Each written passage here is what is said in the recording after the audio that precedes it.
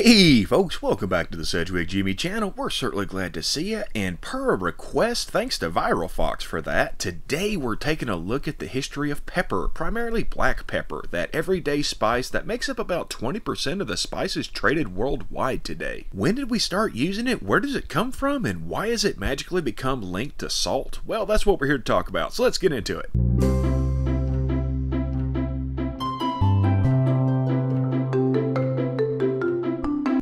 Pepper, as most people think of it, comes from ground up black peppercorns, which are technically a fruit that come from the black pepper or Piper nigrum plant. It's collected while still green and unripe, then typically heated in water and dried, causing the outer skin to shrink and turn black.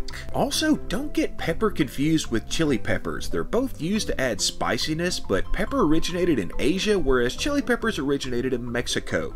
A big difference between pepper and chili peppers is that pepper gets its spiciness from a chemical compound called piperin or piperine, rather than the capsaicin that gives chilies their kick.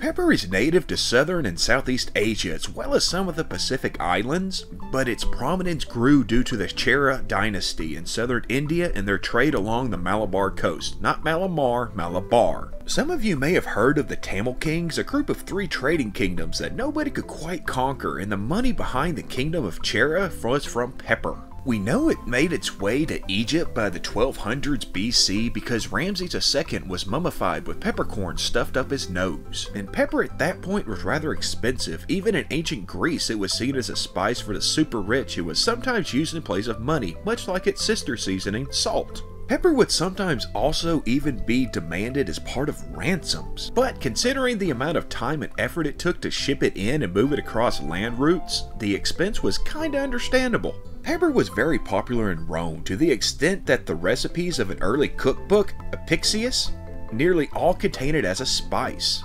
The Romans acted as middlemen, carrying the pepper from India to Rome, where it was sold or sent all throughout the empire. After Rome fell, others had to step up into this role. First the Persians, then the Arabs, and eventually this middle route became controlled by Islam. Once it passed through the Mediterranean, trade was all but monopolized by the Italian merchant cities, primarily Venice and Genoa, who built their wealth off of the pepper trade.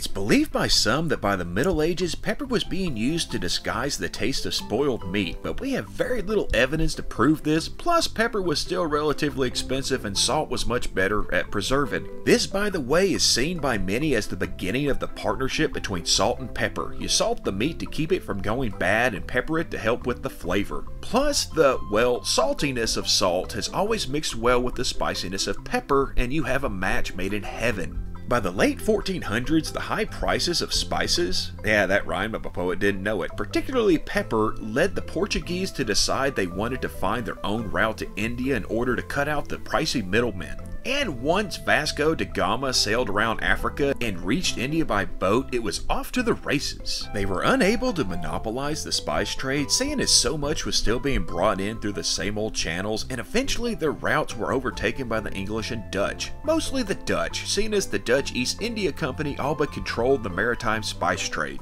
And it was this lack of trade routes that led the English and French to search for another way, maybe through that new world across the ocean, and they stepped up their explorations, not finding much as far as spice routes were concerned, but finding plenty of other resources as they expanded into North America. But the good news was that the more pepper that came in, the lower the price went, and its use increased. It continued its popularity into the modern day, where we see it in shakers on nearly every dining table. By the way, fun fact, the largest supplier of pepper today is Vietnam, who is responsible for about 35% of the world's pepper exports.